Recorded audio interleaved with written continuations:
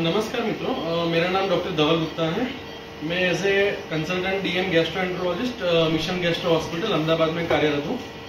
आज हम बात करेंगे कोलोनोस्कोपी के बारे में। कोलोनोस्कोपी यानी एक दूरबीन जाँच के जो लेटरिन के रास्ते से मलाशय के द्वार से पूरी बड़ी आँख की जाँच की जाती है।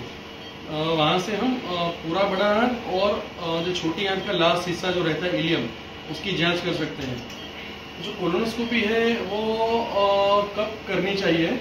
तो मुख्यतः ये जो अ, जो लंबे टाइम से जिसको जुलाब यानी कि लूज मोशन की तकलीफ़ हो या लंबे टाइम से कब्ज की तकलीफ़ हो वेट लॉस हो रहा हो या लेटरिन में खून आ रहा हो और फरू आ रहा हो या फिर किसी को कुछ सिटी स्कैन या सोनोग्राफी में गांठ वगैरह दिखाई गई हो तो ऐसे मरीजों के लिए कोलोनोस्कोपी बहुत ही ज़रूरी टेस्ट है।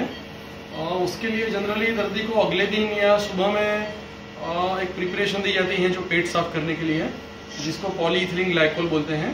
उसके साथ में हम सिमेथिकॉन जैसा एक सॉल्यूशन भी देते हैं, जिससे आंतों को हम अच्छी तरह से देख पाते हैं। उसके बाद में पेशेंट को पाँच से छः घंटे भूखे पेट रहकर अंडर एनेस्थेशिया ये प्रोसीजर करनी रहती है। तो जैसे कि आप देख रहे हैं, हम अभी ये बड़ी आंत में है। ये जो असेंडिंग कॉलोन का एरिया है। वहाँ से हम आगे देखेंगे तो ये सिक्कम यानी कि जो बड़ी आंत का लास्ट पार्ट रहता है वहाँ पर पहुँचेंगे।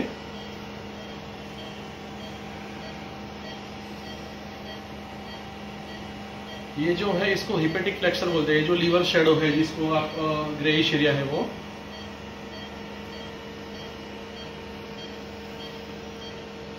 और ये अ, अभी हम सिकम में पहुँच चुके हैं। ये जो आप सामने दिख रहे हैं, उसको जो अपेंडिक्स का अंदरूनी हिस्सा है, और इसको हम आईसी वाल्व यानी कि इलियोसिकल जंक्शन, या आइलियोसिकल वाल्व बोलते हैं, वहाँ से स्मॉल बॉयल यानी कि छोटी आंत की शुरुआत होती है। और ये छोटी आंत का जाँच करनी बहुत ही ज़रूरी है, क्योंकि बहुत बार ये काफ़ी सारे कोलोनोस्कोपी में मिस हो जाता है तो वहाँ की बीमारी पकड़ में नहीं आती है। जैसे कि क्रोन्स डिज़ीज़ है इन्फ्लामेटरी बॉवल डिज़ीज़ ट्यूबरक्लोसिस या फिर दूसरी भी ऐसी कई बीमारी हैं जो सिर्फ़ छोटी आंत के लास्ट हिस्से को इन्वॉल्व करती है इलियम को। वो सबकी सबसे कॉमन साइड इन्वॉल्वमेंट है इलियम। तो इलियोस्कोपी यानी कि इलियम का एग्जामिनेशन करना बहुत ही ज़रूरी है कोलोनोस्कोपी के टाइम में। तो ये हम देख रहे हैं कि इलियम की जो चमड़ी है वो कम्प्लीटली नॉर्मल है। इस मरीज़ की सोनोग्राफी में दिया गया था कि थोड़ा यहाँ पर सूजन वगैरह है इसके लिए हम इनको एग्जामिन कर रहे हैं। ये जो पूरी इलियम की म्यूकोजा है उसके अलावा ये जो हमारा स्पेशल कोलोनोस्कोप रहता है उसमें एक मोड रहता है जिसको हम एनबीआई मोड बोलते हैं मतलब यानी कि नैरो बैंड इमेजिंग उसमें हम अ, कई पेशेंट्स में अर्ली स्टेज में कोई डिज़ीज़ हो जैसे कि कैंसर वगैरह की शुरुआती कुछ निशानियाँ हैं उसको हम बहुत अ, गहरी तरह से जाँच कर सकते हैं। ये जो आप दिख रहे हैं यहाँ जो वेसल्स यानी कि जो नसें रहती हैं और उसकी सरफेस पैटर्न उसमें कुछ इरेगुलरिटीज हैं तो उसके हिसाब से हम बोल सकते हैं कि ये पेशेंट्स को आगे जाके कुछ कैंसर का या फिर और कुछ डेवलपमेंट होता है कि नहीं।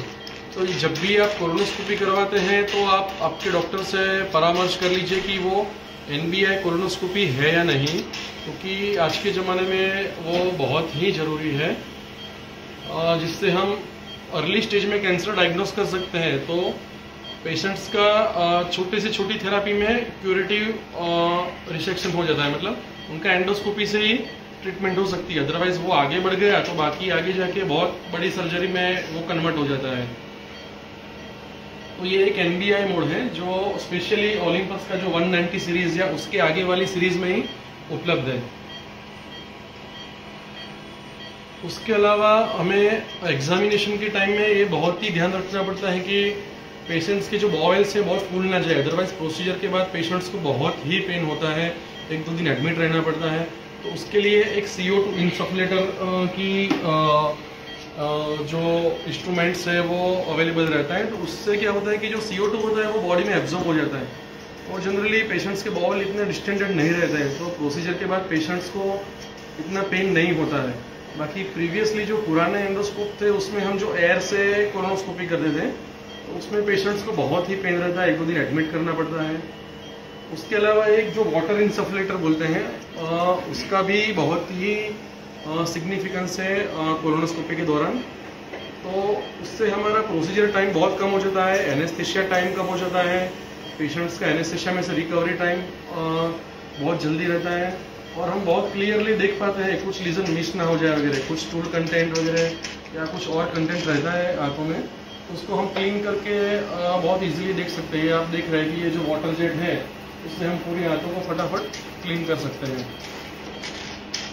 तो ये मिशन गेस्टो हॉस्पिटल में ये कोरोनोस्कोपी की सुविधा सबसे एडवांस एंडोस्कोप के साथ उपलब्ध है।